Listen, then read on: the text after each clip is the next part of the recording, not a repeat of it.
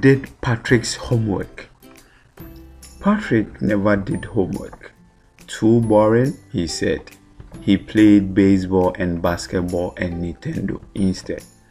His teachers told him, Patrick, do your homework or you won't learn a thing.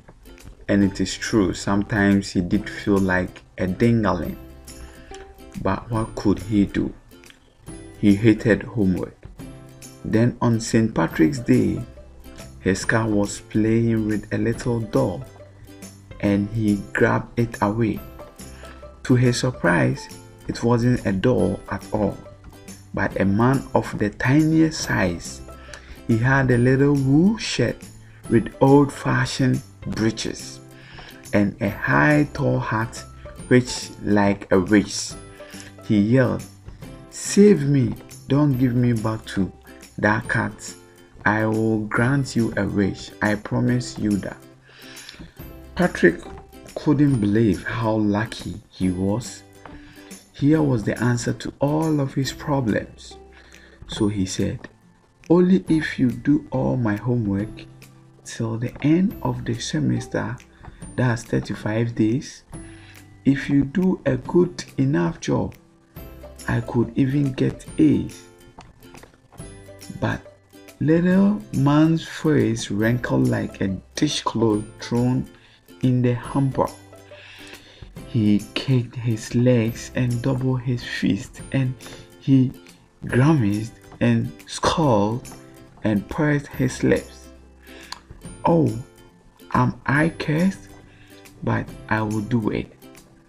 And true to his word, that little elf began to do Patrick's homework. Except there was one glitch. The elf didn't always know what to do and he needed help. Help me, help me, he'd say, and Patrick would have to help in whatever way. I don't know this word, the elf squeaked while reading Patrick's homework. Get me a dictionary. No, what's even better? Look up the word and sound it out by each letter. When it came to math, Patrick was out of luck. What are times table? The elf shrugged. We elves never needed that. And addition and subtraction and division and fractions. Here, sit down beside me. You simply must guide me. Elves know nothing of human history. To them, it's a mystery. So the little elf, already a shouter, just got louder. Go to the library. I need books.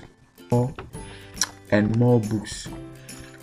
And you can help read them too. As a matter of fact, every day in every way, the little elf was a nag. Patrick was working harder than ever and was it's a drag. He was staying up nights, had never felt so weary, was going to school with his eyes puffed and blurry. Finally, the last day of school arrived and the elf was free to go. As for the homework, there was no more, so he quietly and slyly slipped out of the back door. Patrick got his A's. His classmates were amazed. His teachers smiled and were full of praise. And his parents, they wondered what had happened to Patrick.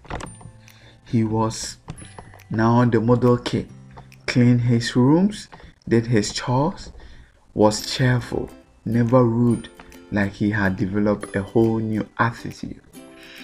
You see, in the end, Patrick still thought he'd made that tiny man do all his homework. But I will share a secret just between you and me. It wasn't the elf. Patrick had done it himself.